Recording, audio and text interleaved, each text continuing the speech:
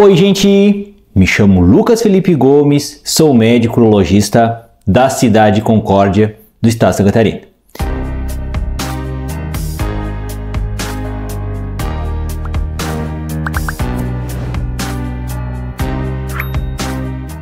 Espero que esteja tudo bem com vocês, porque hoje a gente vai falar nessa pequena aula como que você pode lidar com o medo, como que você pode enfrentar a situação de ter um problema de pele na região genital, principalmente no pênis. E antes de continuar a assistir esse vídeo, inscreva-se no meu canal do YouTube, Toque de Urologista, ative as notificações e principalmente não esqueça de compartilhar esse vídeo com seus amigos, colegas e conhecidos, a fim de que essa informação útil consiga chegar ao maior número possível de pessoas. Estima-se que pelo menos um terço dos homens, ao longo de um ano, e é um período de tempo relativamente curto, vão apresentar algum tipo de problema nessa região genital, tá bem?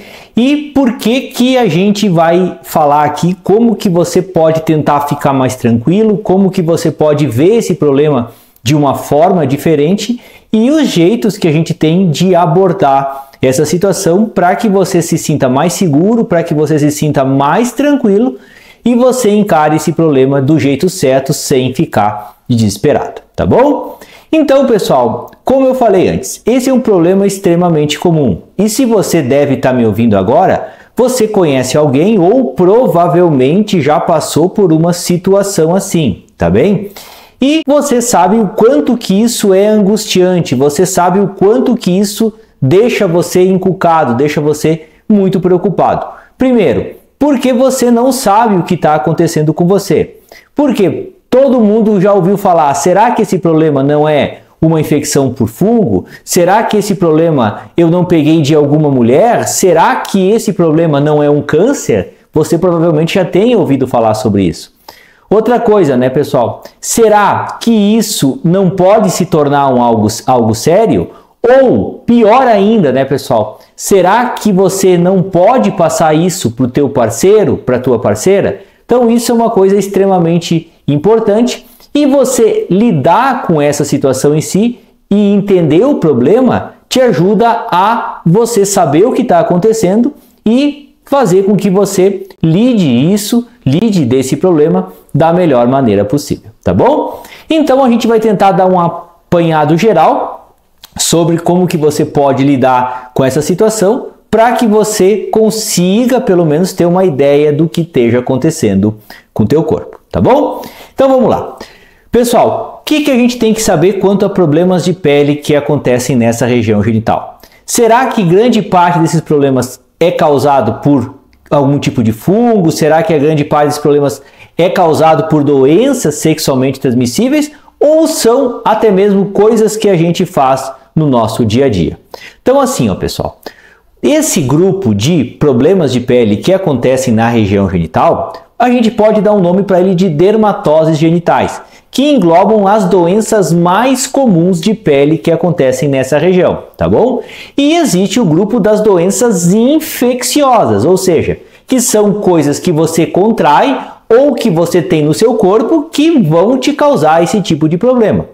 Mas a gente vai tentar se deter aqui nas coisas mais comuns que podem acontecer, que são as dermatoses penianas, que correspondem a quase 90% dos casos de problemas de pele que acontecem na região genital masculina. E do que que eu estou falando, pessoal? Eu estou falando de problemas de produtos que você utiliza no teu dia a dia, eu estou falando de processos alérgicos, eu estou falando de coisas que você coloca e tem uma alergia, como se você tivesse um contato, dá uma espécie de uma queimadura, simplesmente por você ter passado algum produto. Então, se você já sabe disso, você pelo menos já fica mais tranquilo, porque se você pensar na probabilidade, 90 a 10%, sabendo que a grande parte dos problemas, 90%, é causado por alguma dermatose, você já fica mais sossegado, porque aqueles 10% que sobra dessa estatística fica reservado para casos de fungos, doenças sexualmente transmissíveis que aconteçam nessa região genital. Então, só da gente saber isso já ajuda bastante a gente costuma ficar muito mais tranquilo numa circunstância dessa. Então esse é o primeiro ponto que a gente tem que entender, que problemas de contato, problemas de alergia são muito mais comuns que doenças sexualmente transmissíveis ou infecções por fungo. Então esse é o primeiro ponto.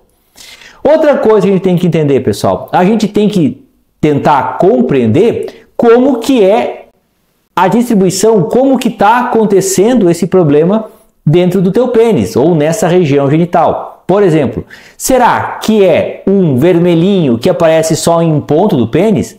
Será que é um vermelhidão total que pega a cabeça, que pega a glande e que pega o prepúcio, que é aquela pele que recobre o pênis, que a gente chama de eh, bala no post-it? Ou será que está te dando alguma alteração visível mesmo? Tipo uma ferida, você palpa a região da virilha e percebe alguns caroços. Então, tudo isso faz muita diferença, porque quanto mais sintomas você tem, a tendência é que esse problema de pele seja pior. É bem verdade isso. Será que você não está tendo alguma coisa junto? Será que você não teve um quadro de febre ou alguma coisa assim que essa manifestação de problema de pele seja alguma outra doença do teu corpo, tipo uma doença do intestino, algum outro problema de você ter contraído alguma outra doença, então tudo isso entra nessa parte desse dessa avaliação para a gente compreender realmente o que está acontecendo. Então, a apresentação do negócio te ajuda a entender também se isso é sério ou não.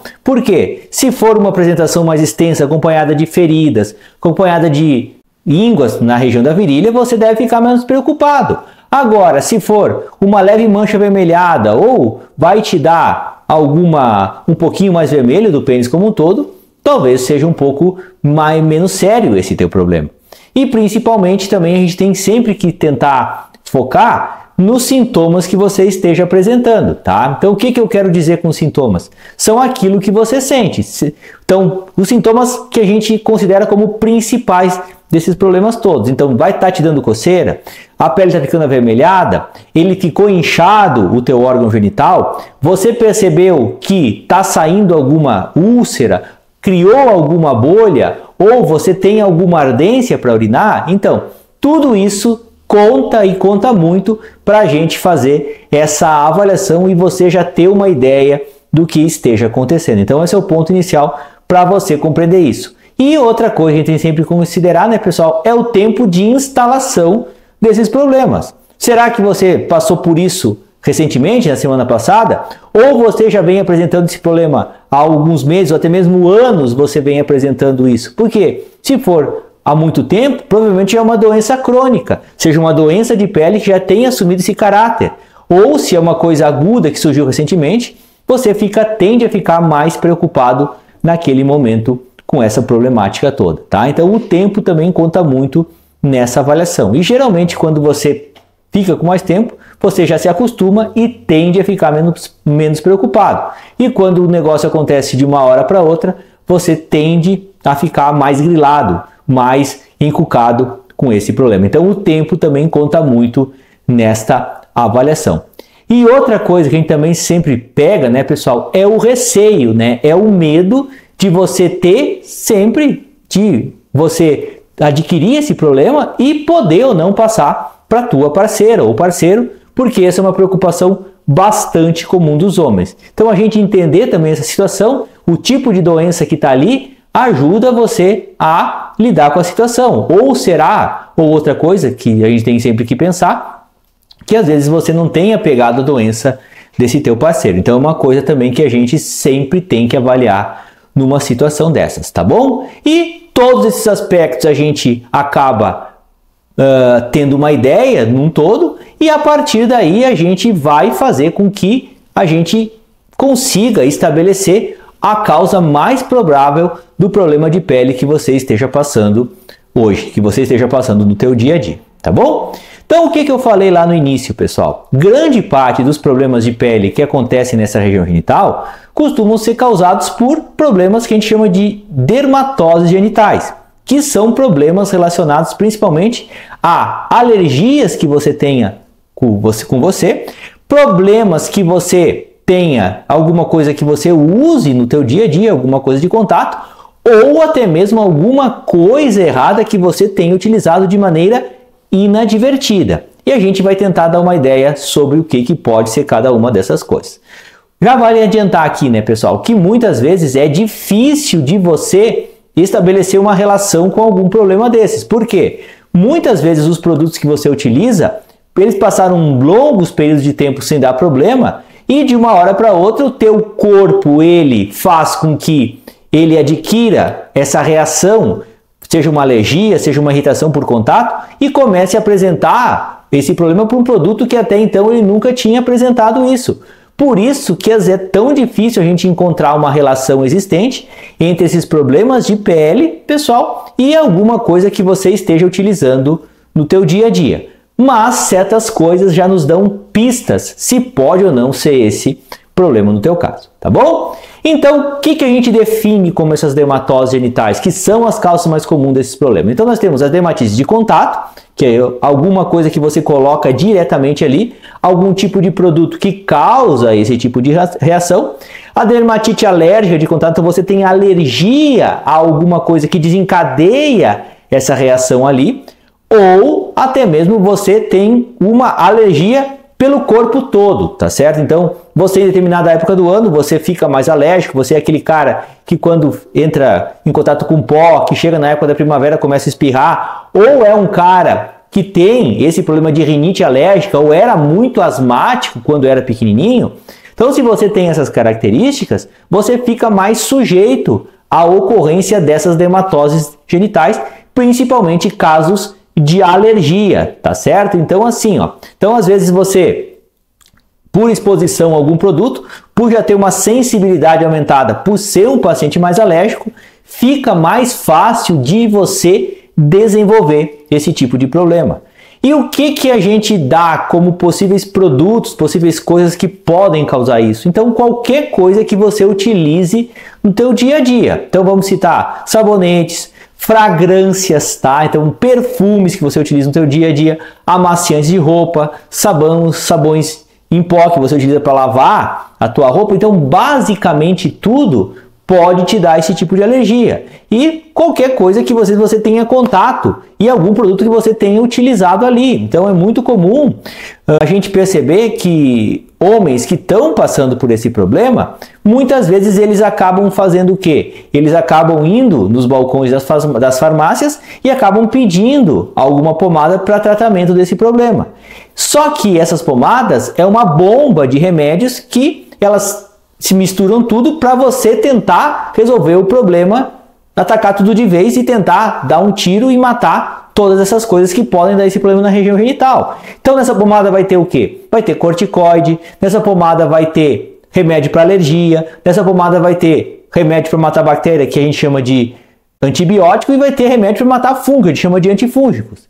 Só que muitos desses produtos que estão ali, na verdade, ao invés de te ajudar, eles agravam ainda mais o teu problema. Então você às vezes dá uma pomada para resolver o problema de alergia e aquele antifúngico que está naquela pomada agrava mais a situação ou aquela aquela pomada tem aquele antibiótico que vai lá, você já tem uma dermatite de contato, é como se queimasse a tua pele. Então, o que era um probleminha, na verdade, acaba se tornando um problemão. Aquele pontinho vermelho que estava bem localizado e você aplica essa pomada, se transforma, faz com que teu pênis fique completamente avermelhado, faz com que o teu pênis fique às vezes inchado e às vezes faz com que abram feridas simplesmente por você ter utilizado esse produto de maneira equivocada, porque você não sabia que você tinha uma alergia, que você tinha uma irritação a esses produtos. Então, o que, que a gente sempre faz? Então, se você utilizou alguma coisa recentemente, Pensa bem o que você utilizou há alguns dias ou iniciou de utilizar recentemente.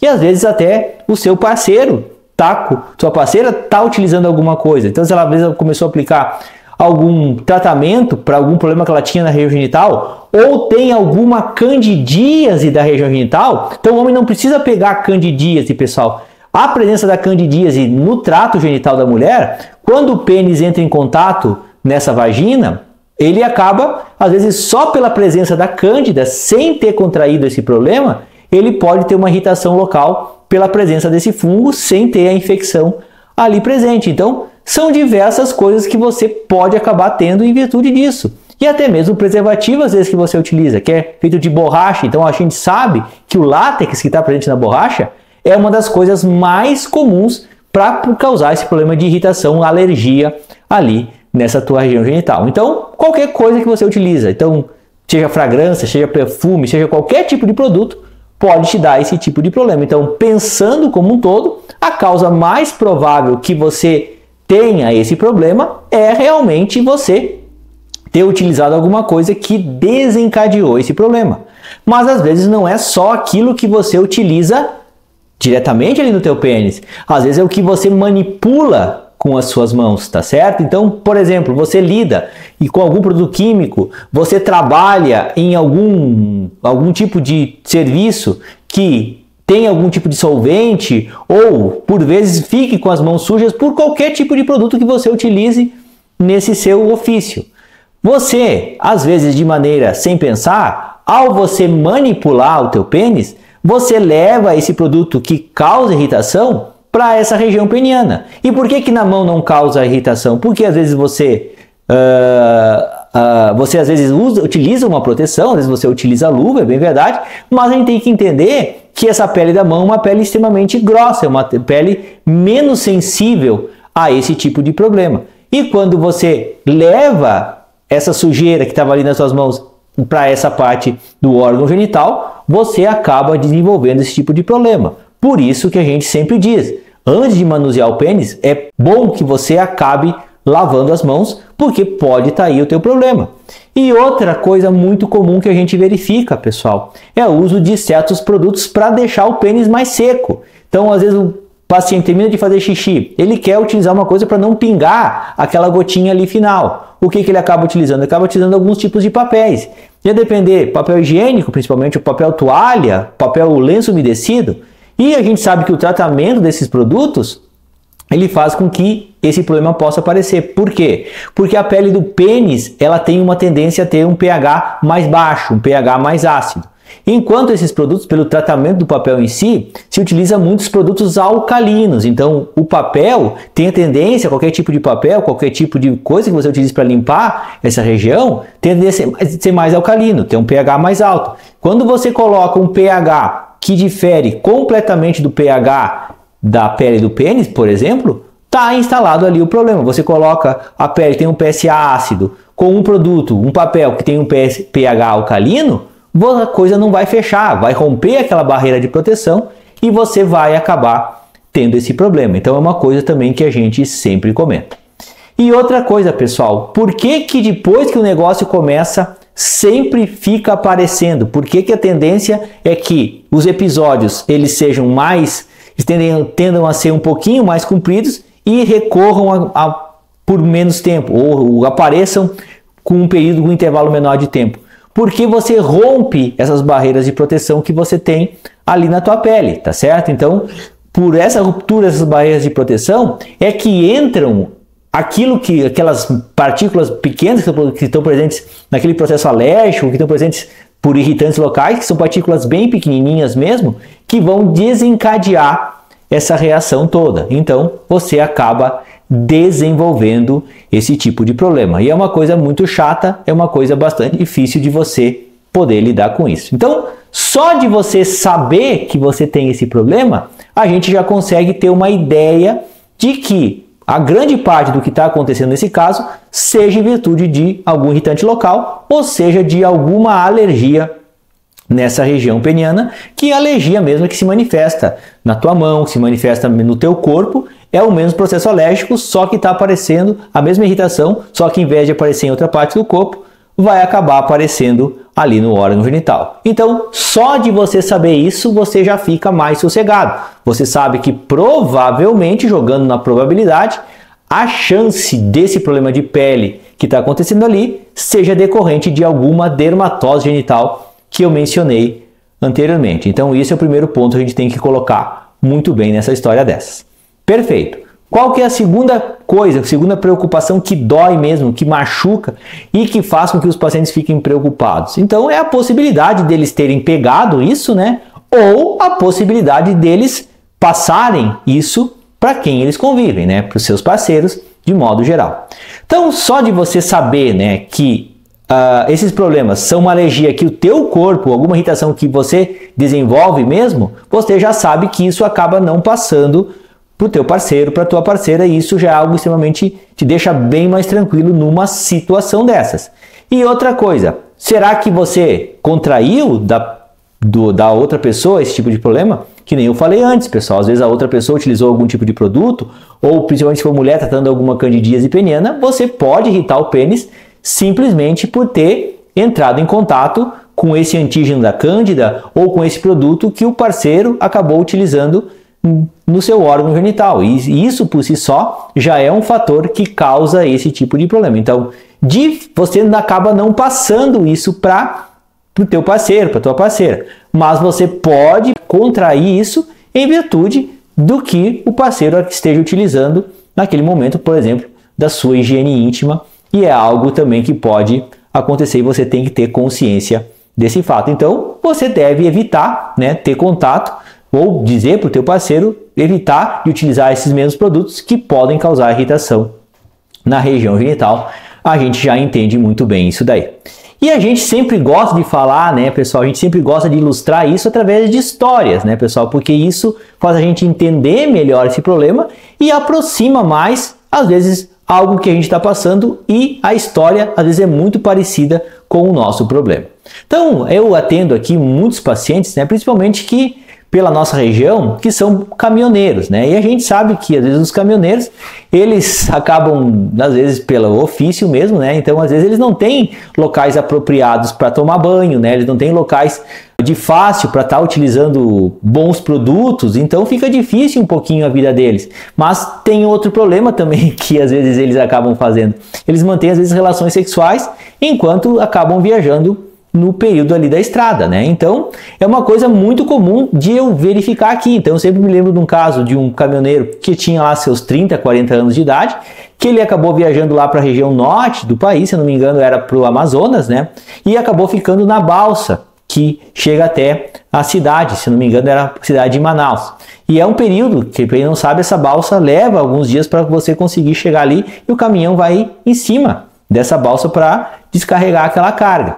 E durante essa dessa travessia, vamos dizer assim, é comum, né, a ocorrência de, e às vezes chegam mulheres, né, na própria beira do rio, oferecendo serviços sexuais para esses caminhoneiros, né? E por vezes eles acabam cedendo a esses serviços e acabam mantendo relações sexuais, e às vezes as relações sexuais por vezes são desprotegidas e eles não tomam o devido cuidado numa situação dessas. E esse caminhoneiro de 38 anos de idade, ele ficou com um pepino quando ele foi fazer essa viagem, porque ele manteve relações sexuais com uma mulher e depois desenvolveu um problemão na região ali do pênis, né? Então ele ficou desesperado. Então estava no meio da travessia e não podia acabar retornando para ver o que verificar o que estava acontecendo, porque Manaus ainda tinha alguns dias de viagem. Então ele estava desesperado com a situação em si.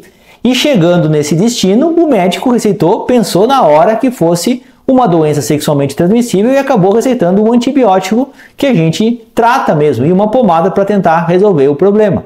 Só que ele fez o tratamento direitinho e acabou não resolvendo e ficou com aquele problema. E o pênis ficando cada vez mais vermelho, ficando cada vez mais inchado, ficando cada vez com mais feridas, que começou a aparecer isso e não sabia do que estava acontecendo. E o que que ele acabou terminando a viagem, ele desesperado daquele jeito, resolveu voltar o mais cedo possível para consultar o médico o quanto antes aqui na cidade. Então ele acabou, teve mais alguns dias e acabou chegando aqui simplesmente utilizando a pomada que o médico havia utilizado e já tendo tomado os antibióticos que haviam sido prescritos antes. E quando a gente viu esse paciente, a gente percebeu que o negócio estava feio mesmo. Era um pênis que estava muito avermelhado, era um pênis que estava bastante irritado, tinha algumas feridinhas também, algumas úlceras, e ele estava sem saber o que fazer mais porque a situação estava ficando muito preocupante. E aí a gente começou a conversar, começou a entender, ele admitiu né, que tinha feito uma relação sexual desprotegida, só para que você saiba, ele não era casado, ele tinha sido casado, mas quando ele teve essa relação ele já estava separado, então teoricamente não ia dar problema nenhum no namoro, no casamento. E aí, o que que ele, aí ele, ele, a gente acabou fazendo? Então a gente acabou solicitando exames para doenças sexualmente transmissíveis e acabou entrando um pouquinho mais na história desse paciente. Então, o que que esse paciente acabou fazendo, pessoal? Naquela, quando ele teve essa relação sexual, ele teve essa relação sexual de maneira desprotegida e ficou muito preocupado durante aqueles dias. E o que que ele por conta mesmo acabou utilizando? Então existe um antisséptico que a gente chama de PVPI, que ele é feito à base de iodo, né? E ele tinha desse, não sei como ele conseguiu arrumar, ele deve ter pedido para alguém ali na farmácia ali do da balsa, não sei como é que ele acabou conseguindo esse produto. E o fato é que ele começou a utilizar esse PVPI para tentar se livrar de alguma coisa que ele pudesse pegado durante essa relação sexual. Só que o que, que aconteceu, pessoal? A gente sabe que esse PVPI, que é um antisséptico, a gente utiliza para fazer limpeza na hora da cirurgia, ele acabou irritando, ele era um irritante local muito sério para essa região do pênis. E ele acabou queimando essa região ali toda, tá? Então ele acabou fazendo com que esse pênis ficasse extremamente machucado, extremamente irritado por conta do produto que ele estava utilizando. Então, ele estava com a cabeça só voltada para que aquele problema fosse uma doença sexualmente transmissível, mas na verdade o problema era causado por aquele PVPI, por aquele iodo que ele estava colocando na região genital.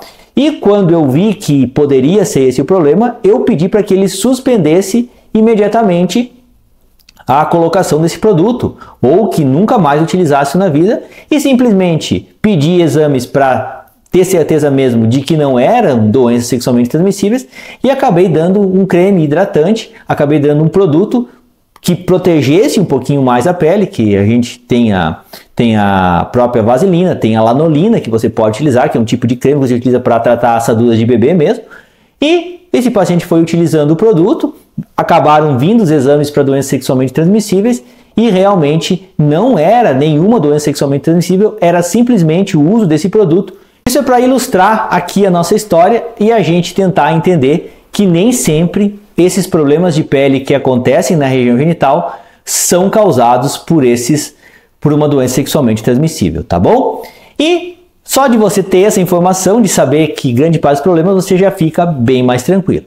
E tirando essa outra parte, né, pessoal, como que você às vezes fica agrava a situação pensando nessa possibilidade? Você agrava a situação simplesmente por pensar que o teu problema de pele seja às vezes causado por alguma coisa que você tenha feito, principalmente na questão sexual, para alguma doença sexualmente transmissível que você tenha contraído numa hora dessas. E só de você às vezes saber que o teu problema não é causado por isso, você já consegue ficar mais, vamos dizer assim, tranquilizado com essa situação toda, né? Porque a gente sabe que uh, o problema de ordem emocional, que isso vai acabar gerando em você, né? Então, uh, isso a gente chama de a gente chama de psiconeurodermatologia, que problemas que gerem estresse, gerem ansiedade, gerem preocupação podem te dar esse tipo de, de situação. Então, se você fica angustiado, se você fica preocupado, se você fica ansioso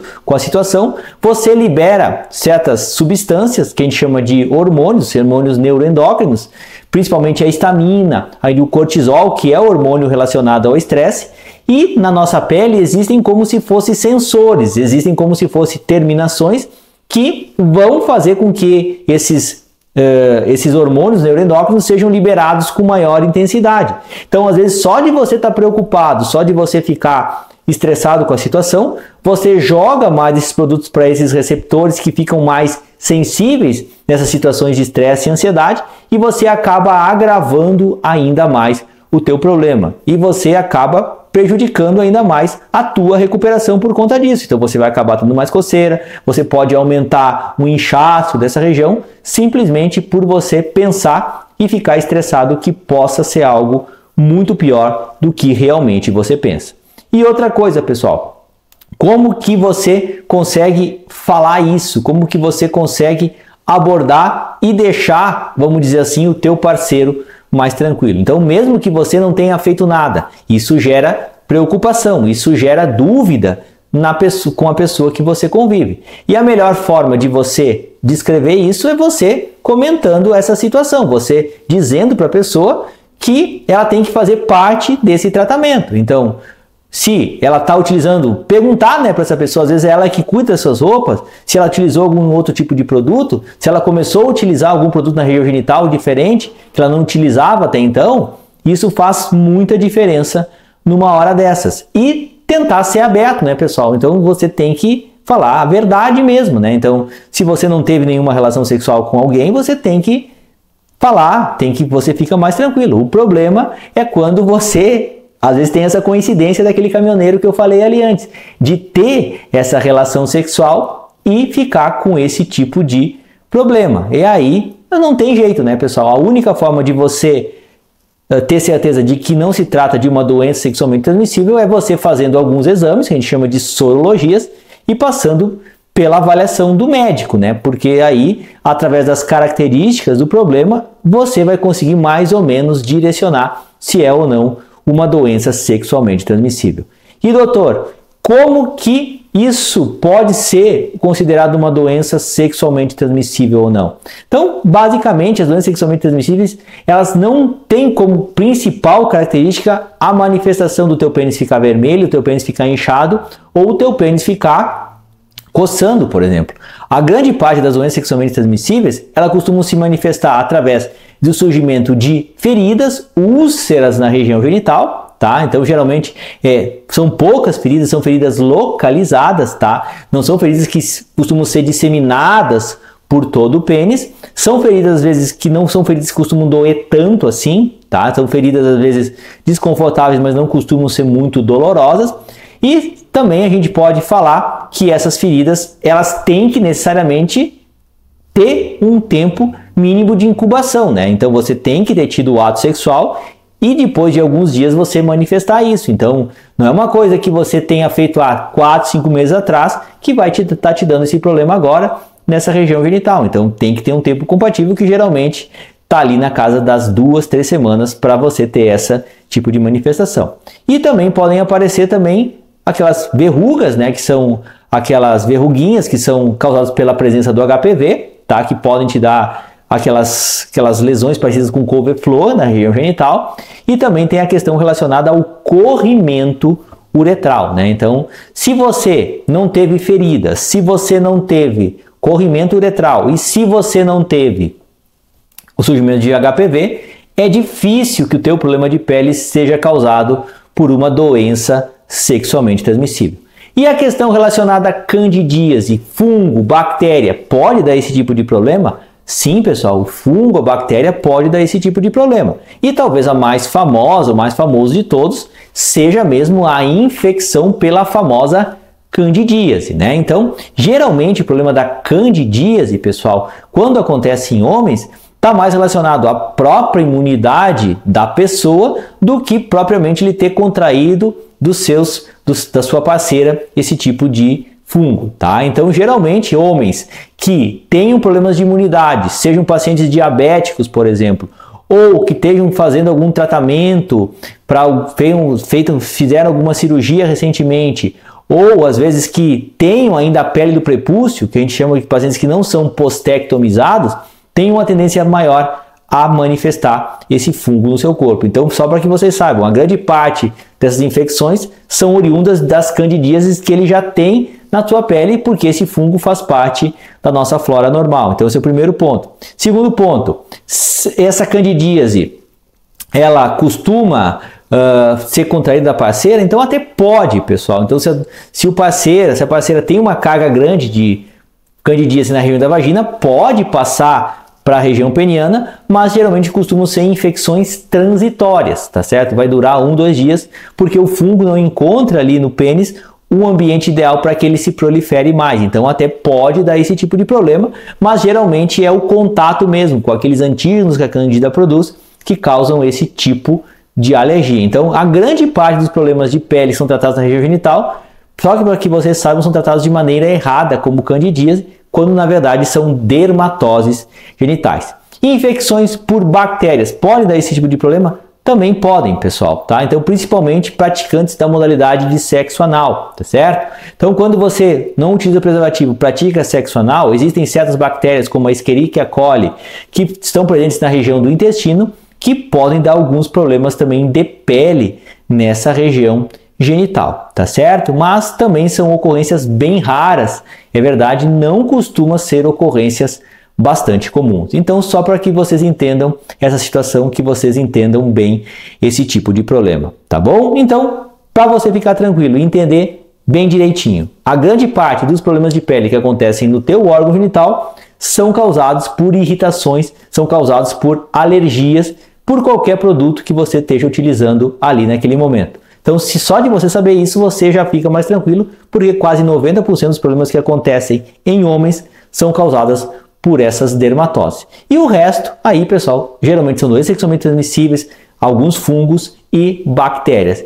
E você raciocinando, você não acaba passando isso porque é um problema que você desenvolve alergia de você mesmo, é o teu corpo que desenvolve isso, então você não tem como passar para tua parceira. E as algumas doenças sexualmente transmissíveis você até pode passar, mas é pouco provável que você, por exemplo, vá ter uma relação sexual com a pessoa vai ter uma relação sexual verificando uma ferida ali no pênis, ou verificando uma verruga, ou verificando algum tipo de corrimento. Então, é bem menos comum você ter passar isso para outra pessoa e é pouco comum também que você tenha contraído também isso através de um ato sexual, porque essas doenças sexualmente transmissíveis não costumam se manifestar assim. Então, saiu de ferida, saiu de corrimento, saiu de surgimento de verruga genital, dificilmente o teu problema de pele vai ser uma questão relacionada a alguma doença sexualmente transmissível. Tá bom? Então a gente, para dar uma ideia geral aqui, a gente tentou explicar de maneira bem pormenorizada, tentando caracterizar os problemas para que você fique tranquilo e você veja isso de uma outra forma, não tratando do jeito correto, às vezes utilizando uma pomada errada. Então, só de você saber isso, às vezes só utilizando um creme hidratante, só você ficando de boa, você já consegue resolver esse teu problema de pele que está acontecendo na tua região genital, está deixando uma mancha vermelha ou algo assim. Então, eu gostaria de agradecer a todos. Com certeza a gente vai falar mais vídeos aqui. Fiquem com Deus. Um grande abraço e a gente se encontra no próximo vídeo. Tchau, tchau!